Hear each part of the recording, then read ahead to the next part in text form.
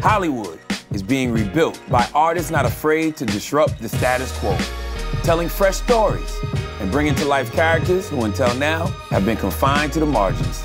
This is Emerging Hollywood. Peace to the planet. I go by the name of Charlamagne tha God, and my guest today, you may know her from Orange is the New Black. You may know her from Russian Doll. Dascha Polanco. Dascha, what's happening? How you doing? How are you? How you feeling today? I'm good. Okay. I'm. I, feel good too. good. Yeah, it feels good. you know, Good energy. seasons are changing. Yeah, that's what it is. People are waking up. Yeah, that's what it is. Yeah. A new season. When did you realize that acting was a viable career path for you? When I got the opportunity in Orange. Really? Yeah. So you didn't take it serious until then? Hell no, no. I was making money in the in in the hospital as a manager, working in the operating room and being in charge. And I was doing my master's and bachelor's in, uh, towards nursing. So I was like, I'm not gonna take this inconsistency serious now. I have to make sure that I'm good and that my family's good. I'm a hustler. I need to go get it. So if I can't go get it and tell you, yo, I have to do this, give me the opportunity. This is my, my credentials. I already have my credentials. Let's go. That's how I was in, in the health field, right? Yeah. So you never had any dreams of being an actress whatsoever? Yeah, when I was since I was little. Okay. But I just didn't see it because it's not It something wasn't that happening for you fast. Hell, no, it's just I was very scared of being told that I wasn't talented enough or that or that I couldn't do that because I love it so much. So right when you was about to give up, you go out and audition for Orange is the New Black. No, I auditioned for other things. Okay. I, I was at the time I was with my fiance and there was this whole thing that we thought was a scam, like this school called BIH, and I went there to like um, study the auditioning process, and that's when I started auditioning. Then I auditioned for a movie. I got the first movie, which was Give Me Shelter, and then I booked a show, booked another show as guest stars roles. But it was so inconsistent. It was like one year here, one year there, and then when I decided to say I'm going to go forward, do my I was doing my clinicals for my nursing. That's when I decided to audition for one last time. I'm going to audition for this. Okay, fine. But I was already perceiving like I'm very eh, like I I read a lot of energies. If I don't feel transparency from the beginning, like I feel like I like to get my feelings hurt bluntly. I do. Yeah, because I'd rather you just tell me straight up. Yeah, I yes like or no. I like the bluntness. I like for you to tell me, no, girl, you need to like lose 10 pounds. I know Yes. people are not gonna say that. But you, in order for you to be a superhero, I need to see all your musculoskeleton. Yeah. Okay, let me see the abs. Then I'm like, all right, then I have to, if I really want it, I have to go get the abs. Absolutely. But you don't get that. So for me, it was very uncomfortable to be like, oh yeah, yeah, you're great. And then you don't get a call back. So when you did get the role, did you ask why you got it? Yeah, I was like, are you? I was in shock. First of all, I was crying like crazy. I was like, oh, because my manager was more excited than I was. And he was like, oh my God, your life is gonna change. I was like, no, it's not. But what, what was interesting is that I kept my job. That's how much I did not trust this industry. Mm-hmm. That I was like, I'm not gonna put all my eggs in that basket and just be an orange. I'm gonna continue to work in the hospital, and I'm also going to continue to work on the show. I'm gonna maneuver myself either way. But then when it got the traction that it did after first season, and then I got the opportunity to renew for second season, then it was too much for me to handle. And I had to make a decision. They made it for me. They let me go. They fired me. Um, and then I decided to say, well, if I'm gonna do this, I'm gonna have to do it. But did they tell you why you got the job? Like, 'cause you said if they tell you no, then they'll say, oh, because you don't. No. So they didn't say, hey, we hired you because of No. these reasons. Okay. No. Gotcha. So you just got the job because you got the job. Word. How did you build up the confidence to not compromise and be confident with how you look and who you are, everything about yourself? Damn, that's a hard question. Go Charlamagne, the God. it's a hard question because I, I think that I question. Okay, well, look, there's certain things that I'm confident about that I focus on, like um, like my hygiene and how I smell. and I love that I smell good. Hashtag it. And so I, I'm very confident about that. I have a, a great nose. I love fragrance, and that keeps me motivated. Like, yo, just focus on that. You could go somewhere and look a hot mess, but if you smell good, people not gonna, they're not even gonna know. Right. And then everything else that I don't like, I've had to like really sit myself down and like speak to my therapist and say, like, I don't like my body. And then the questions come in, but why don't you like your body?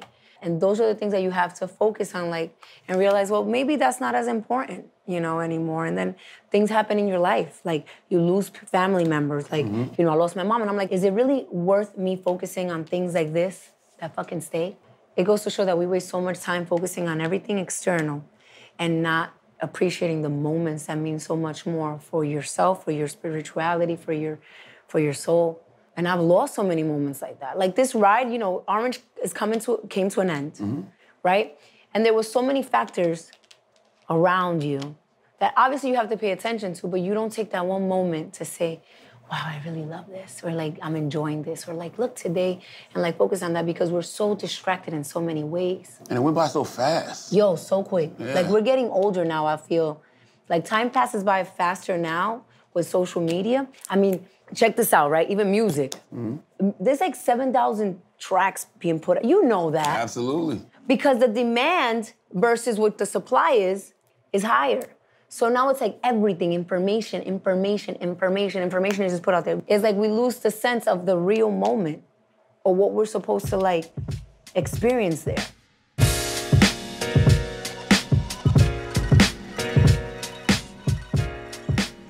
Now, where do you think the state of uh, Latin representation is in film and TV right now, currently? Currently, I think it's, Feeling it? if I'm feeling it, you know, I'm lucky to be in it, but I think that there's a lot more work to be done. I think that um, the stats speak for the masses. I think simply by you just scrolling down IMDb and seeing the movies that are about to come out and who is in lead roles and who's representing what, it will tell you a lot. I mean, it's still 3%, right? 18% purchasing power for mm-hmm. Latin community, mm-hmm. but we're still 3% of what we see.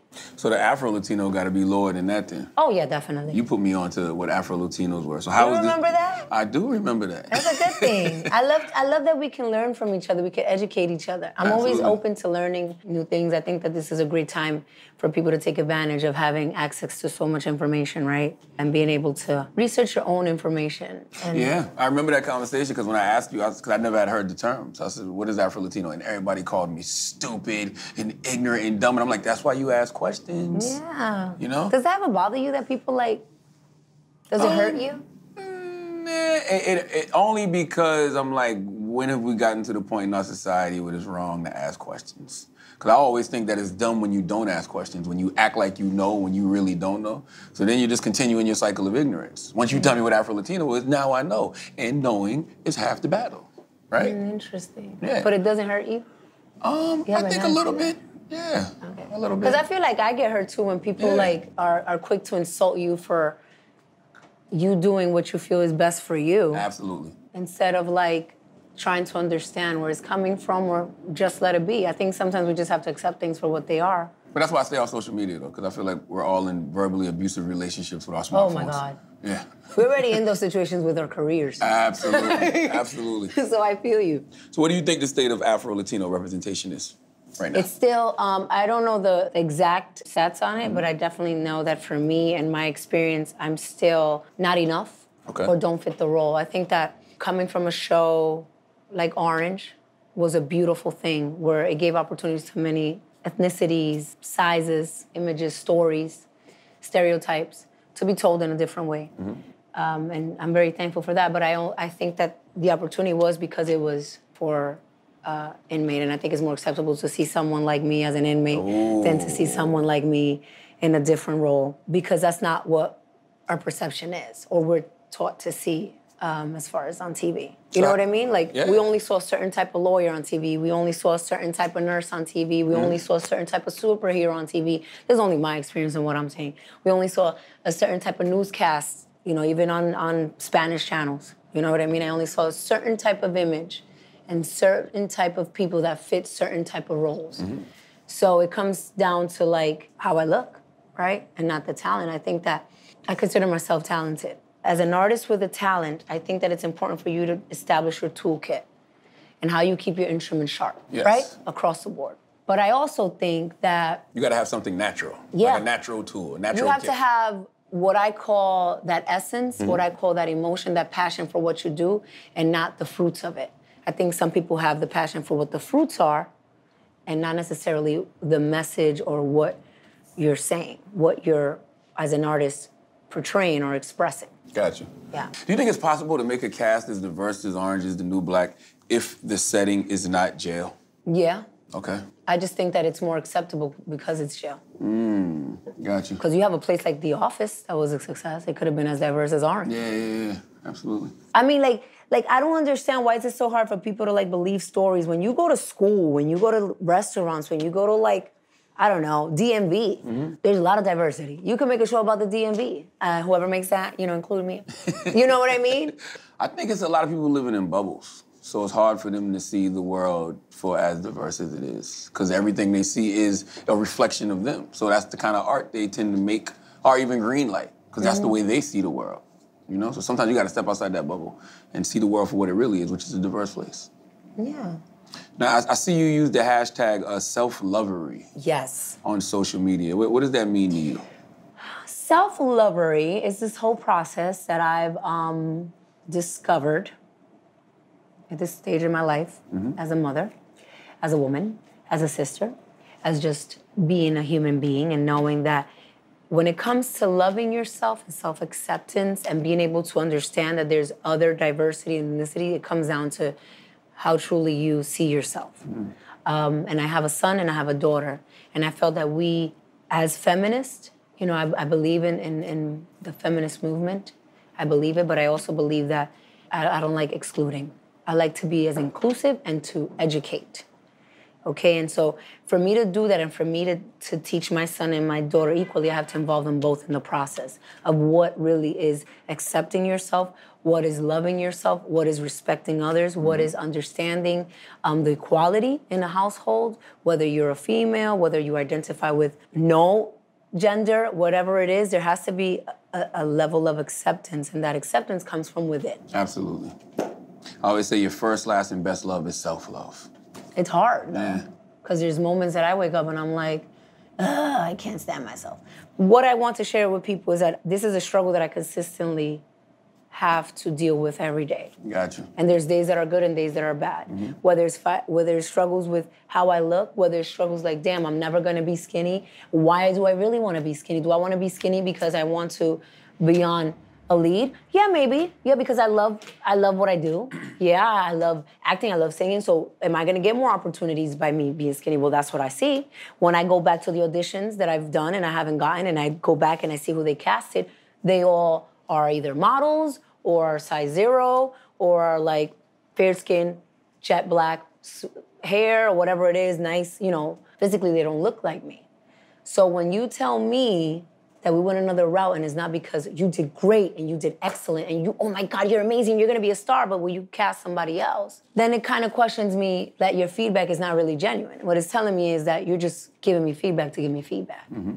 Well, what are some of the things you hear people say that they don't even realize are offensive to Latinos, Afro Latinos, Latinx, just in general? I think that offensive is when you say that they're not black I think it's offensive when you say that their story doesn't matter. I think it's offensive when you say, "Well, what are you?" That doesn't make sense. Well, well, actually, if I was geographically geographically speaking about where I'm from, I'm from I'm from the Caribbean. You know, I'm not even in Latin America. I'm in, I'm in the Caribbean Sea. So, you know, I, I know I have my African. I embrace my blackness, but for you to feel like you need to exclude me when I include myself in it. Mm. You know what I mean? Like if I include myself and say that I'm proud of my blackness, I'm proud of my Taino-ness, of all my influences that I've had historically, right? You know, like I did that DNA test mm-hmm. and I'm 36% Mali. So for me, it was like, there you go. Do you think it, it, I needed this test to do that? I, do you think I needed to provide, like, it was so blatant for me to see that and to embrace it. So if I embrace that, what makes you feel that you have the right to exclude me from what I'm embracing. And if that's who you really are. I also think that it's offensive for um, our stories not to be taken serious or feel like we don't have a platform as Latin people in this industry. I think we have a huge platform right now in the music industry. The Latin music is killing the game. And the fusion that we've been able to create from the Latin to American, we have artists collaborating that we never would have thought in the 90s we would have been collaborating. And it's happening now.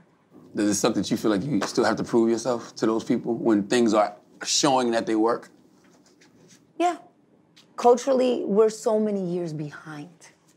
We've been kept that way. Mm-hmm. What's empowering you right now? Like what's keeping you motivated? The message that I want to send out. And for those that that feel like because that's what I felt. I felt like, yo, I'm coming to this game so late, you know, and in Hollywood, you know, aging doesn't help you. Good thing that I have, you know. you know, You got J Lo genes. You I know see what it. I'm saying? I got my African genes, baby. Okay. You know? um, so for me, I'm, I'm blessed, but it's important for me to catch up and stay relevant and like get this money and do what I have to do and be able to make this something that I could do for the rest of my life. Word.